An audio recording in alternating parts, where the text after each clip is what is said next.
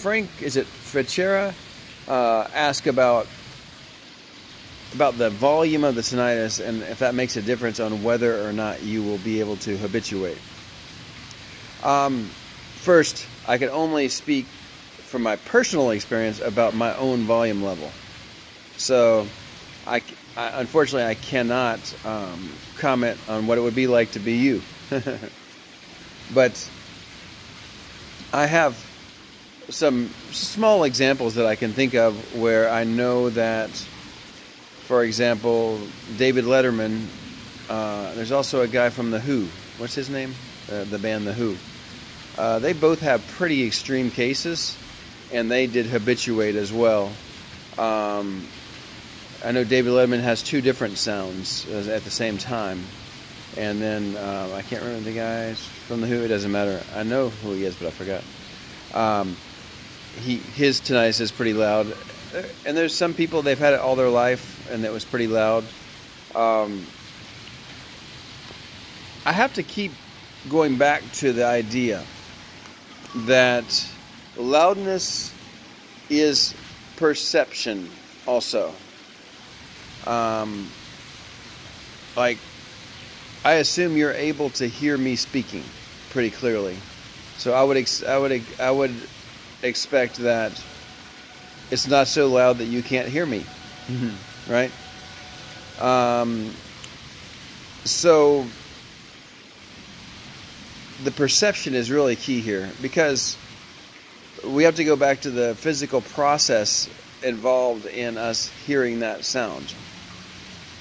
We have nerves that our ears uh, feel changes in pressure, and that in turn in the brain turns the uh, those vibrations into our perception of what we think of as sound. So it's a nerve function, and uh, our brain can prioritize which nerves it's going to pay attention to. As I was saying in my last video, uh, I've got a problem with my toe, and the, basically the joint's not going to bend like it did before because the bone got bigger. And when I walk, I feel it. And uh, it's because I danced for many, many years, and uh, I still want to continue to dance. But uh, how painful is it? It's the same question, you know. Um, there's different levels of pain. There's different levels of the way we perceive sound in tinnitus, and um, so we have to find ways to deprioritize, deprioritize that sound, that pain, and prioritize things that are more important to us. So I hope that makes sense.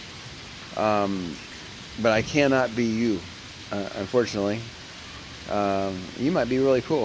I think you probably are. So, but you need to realize that you, you're you've got a lot going for you, and uh, those things that are going for you want to focus on that, and you have so much more you can do in your life. So focus on that, and you know, I'll go. I'll, I'll, I'll take one more idea here.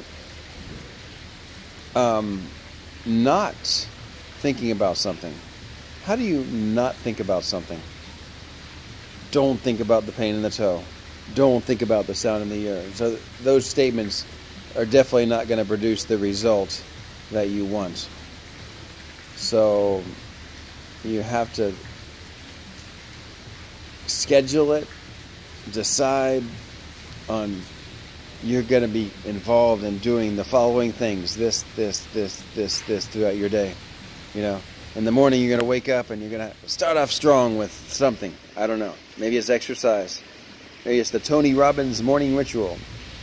You're going to have a nice lunch. Maybe you'll make lunch today. Uh, maybe you'll go to a nice place. And then in the afternoon i don't know maybe you have some work to do and you're going to get that done and you're going to do a great job doing it. Maybe do it in a better way than you've done it before and then uh, you've got some friends you need to go see, uh, to talk to, call on. Um, I don't know what you do in your day, but you know, get get busy doing that, and really that's how you don't think about it because you're so busy doing other things. So you've got to really make it a priority to to get involved in doing those things that, that help you um, help you move forward in your life. And uh, you'll start to deprioritize the tinnitus, and your brain will also just forget about it more. Um, and that's that's all I, I, can I can think to say. Uh, I don't know again about your volume, but I do think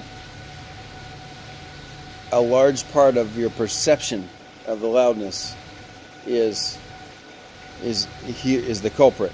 You know, so you can change your perception. You can deprioritize the tinnitus because you're busy thinking about other things, and your brain can go so far as to tune it out uh, entirely at times. As you know, as William Shatner said, you know, it'll still be there, but you you just won't notice it, and, and you can get to that point 100 percent, even if it's loud. Uh, not maybe not 24 seven, but you you can get to where you can do a lot of stuff. Uh, and it'll get better and better, and you can get better at this skill. Okay, so good luck, Frank.